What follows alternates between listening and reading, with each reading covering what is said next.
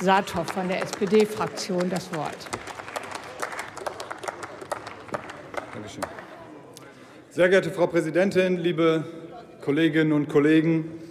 Ihr Antrag zur Agrarwende, liebe Kolleginnen und Kollegen von den Grünen, besteht ja eigentlich aus mehreren, nämlich aus acht Anträgen, zu denen es sich jeweils lohnt, eine eigene Debatte zu führen. Und zum Teil, zum Teil haben wir diese Debatte auch schon geführt und andere stehen uns mit Sicherheit in dieser Legislaturperiode auch noch bevor.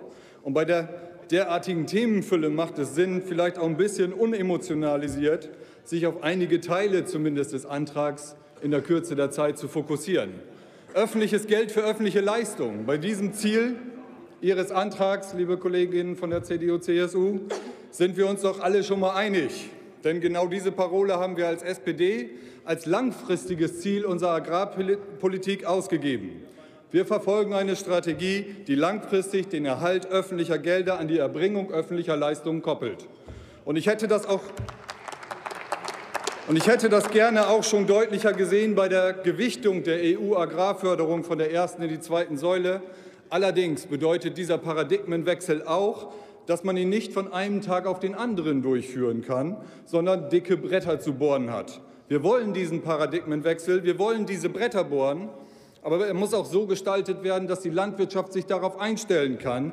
Das dürften die Landwirte von einer verantwortungsvollen Agrarpolitik erwarten. Die Gentechnikfreiheit ist auch Teil Ihres Antrags. Wir haben dazu ja letzte Woche eine Debatte gehabt hier im Bundestag. Ich möchte aber heute noch mal deutlich machen, dass wir alles unternehmen wollen, um zu einer bundeseinheitlichen Opt-out-Lösung zu kommen, liebe Kolleginnen und Kollegen. In diesem Sinne hat es auch das Bundesverfassungsgericht im Jahr 2010 entschieden. Deshalb kann es für uns keinen anderen Weg geben als eine bundeseinheitliche Lösung. Und natürlich wollen wir auch, dass Deutschland bei jedem Anbauzulassungsantrag davon Gebrauch macht. Die Beschränkung auf ein Bundesland macht faktisch einfach keinen Sinn da auch gentechnisch veränderte Organismen nicht an der Grenze zum Bundesland Halt machen.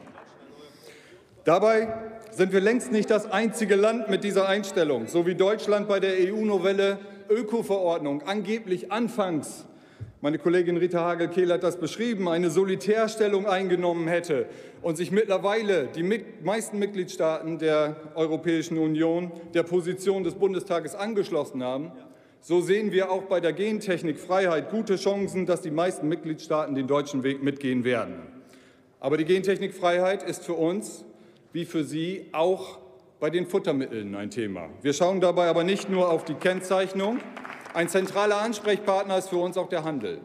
Dort ist festzustellen, dass das gentechnisch veränderte Soja im Zusammenhang steht mit Entwicklungen, die die deutschen Verbraucher nicht gutheißen. Die Tendenz des Handels zu beispielsweise Hähnchen im Angebot, die ohne Gentechnik gefüttert wurden, zeichnet sich deutlich ab. Der Dialog ist für uns also neben den gesetzlichen Regelungen auch ein ganz wichtiges Instrument. Wir sollten uns vor Augen führen, was passiert, wenn man unkritisch an die Gentechnik herangeht. In den USA gibt es bereits über 20 glyphosatresistente Kräuter. Und das ist dann nur der Beginn der Schraube, die sich immer weiter dreht und nicht mehr zurückdrehen lässt. Durch den Einsatz von Gentechnik verändert sich das Bewirtschaftungssystem in der Landwirtschaft langfristig dahingehend, dass eine gute landwirtschaftliche Fachpraxis nicht mehr nötig ist.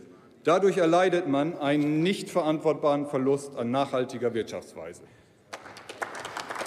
In unserem Koalitionsantrag Gesunde Ernährung stärken, Lebensmittel wertschätzen sind eine ganze Reihe Forderungen enthalten, die Sie in Ihrem Antrag zum Thema gute Ernährung aufgreifen. Zum Beispiel setzen wir uns damit dafür ein, dass die gesundheitlichen Risikofaktoren einer unausgewogenen Ernährung im Präventionsgesetz und in einer nationalen Präventionsstrategie angemessen berücksichtigt werden.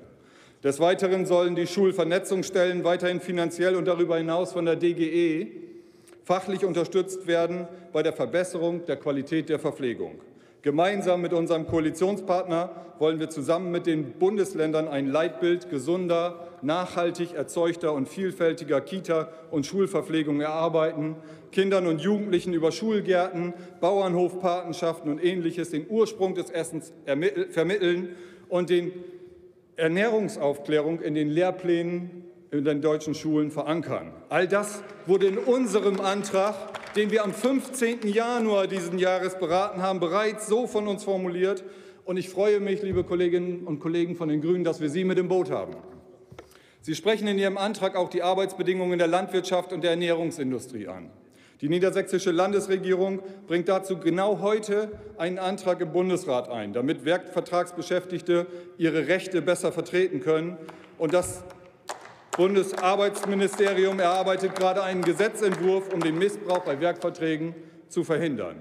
Wie anfangs schon erwähnt, enthält der vorliegende Antrag also einen ganzen Strauß von Maßnahmen zur Zukunft der Agrarpolitik. Stück für Stück oder einert Anne, wie man in meiner ostfriesischen Heimat sagen würde, wollen wir uns mit den jeweiligen Themen befassen. Und ich freue mich auf einen konstruktiven Dialog mit Ihnen. Herzlichen Dank.